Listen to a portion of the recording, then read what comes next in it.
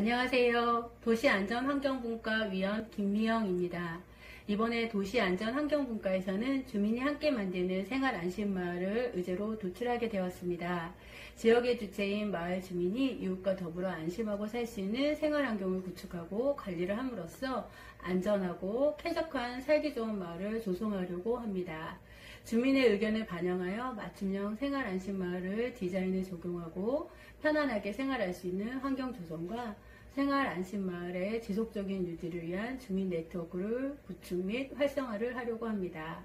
강서구는 마곡과 마곡이 아닌 지역을 어떻게 균형적으로 발전시킬까에 대하여 고민하고 있으며 그런 구 사업과 연계하여 우리 동네 살피미 웹과 경찰서의 데이터를 기반으로 단독주택과 다가구 밀집 지역을 대상지로 선정하였습니다. 내년에 민간 실행이 TFT를 구성하여 그중 한 개소를 최종 사업지로 선정할 계획입니다.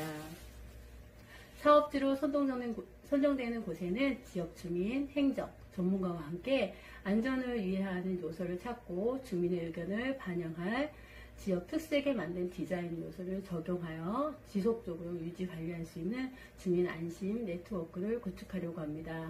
주민이 함께 만드는 생활안심마을 사업 내용으로는 생활안심 디자인을 도입하고 범죄를 예방하고 주민의 불안감을 해소할 수 있게 위해 지역의 특수 형광물질을 도포하고 벽화를 칠하거나 태양광 조명을 밝게 비추게 한다던가 안전사고 발생 우려 지역에 음, 검, 우려 지역인 건물 사이에 차단 시설물을 설치하고 어둡고 흐미진 주택과 현관문에는 미러시트를 부착하여 지역 주민이 안전한 생활을 돕고자 합니다.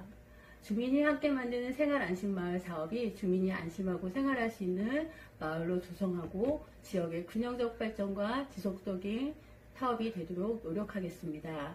주민이 함께 만드는 생활 안심 마을 사업에 꼭 한 표 찍어주시기 부탁드립니다. 감사합니다.